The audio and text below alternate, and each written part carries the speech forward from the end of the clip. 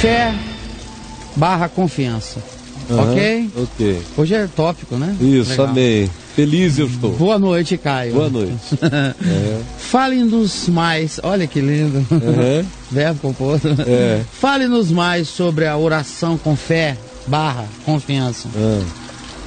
O que nos ajuda a fortalecer a fé? O que nos ajuda a fortalecer a fé ou a confiança? O que fazer para aumentar a nossa fé? Basta apenas crer? Bom, eu entendi e aprendi quando eu me converti. Foi lição número um que me foi ensinada pelo meu pai, pela minha mãe, é que a fé vem pelo ouvir e pelo ouvir a palavra de Deus. Toda fé que existe dentro de mim nasceu do- da palavra de Deus. Quando eu digo ouvir, não é ir a um templo ouvir uma pregação. Você pode ouvir até um- uma estupidez nesse ato, como hoje em dia a maioria ouve. A- aprende crenças supersticiosas e não a fé, segundo Jesus, segundo o Evangelho.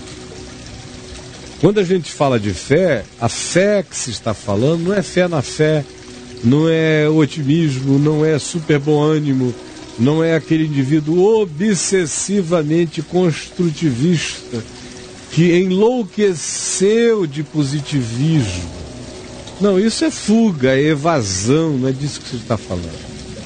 Quando você me ouvir pelo menos falar em fé, eu não estou falando em fé segundo o pensamento positivo dos livros de autoajuda, não.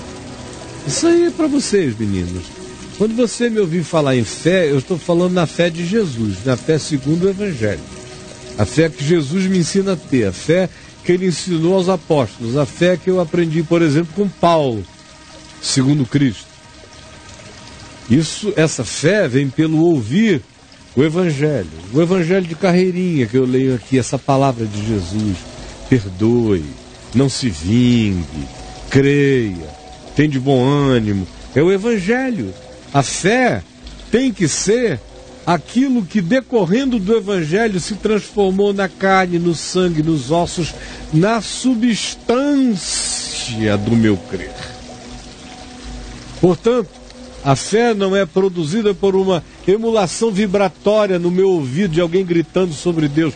A fé ela tem que se transformar numa substância que é composta do Evangelho. E o Evangelho é Jesus e Jesus é o Evangelho.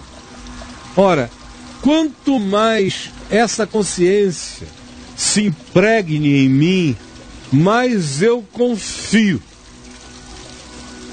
A fé se manifesta como fé quando ela deixa de ser uma busca e ela passa a ser um estado confiante. A fé frequentemente começa como uma busca. É porque eu creio que existe que eu estou buscando, mas eu ainda estou buscando. É o engatinhar desse processo. Quando você começa a alcançar a consciência do Evangelho, e você vai alinhando os significados, e, e na sua alma, no seu espírito, isso começa a fazer sentido com a esperança que lhe vivifica. À medida em que o tempo vai passando, o próximo estágio é o descanso, é a confiança, é a entrega, é o repouso, é a certeza de que está feito. Aí você começa a perceber que uma pessoa amadureceu, começou a maturar na fé.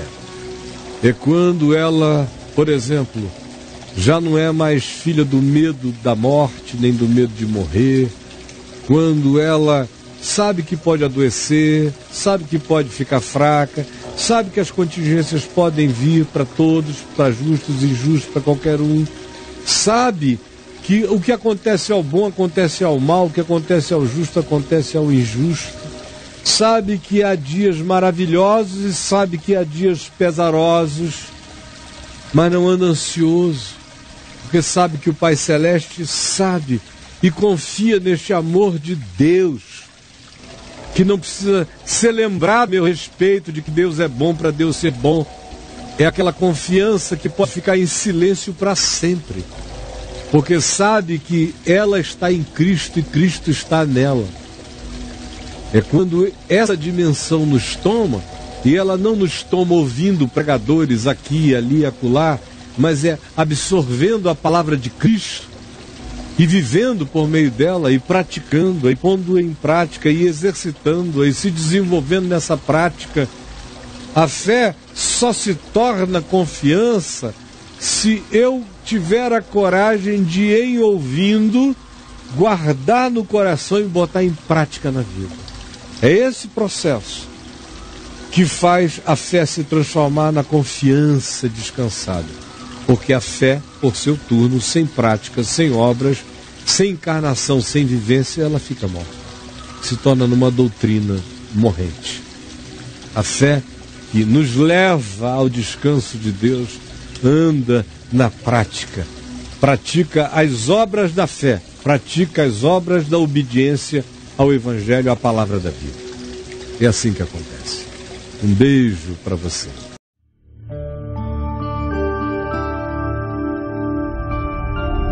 Vem VTV, o canal é você.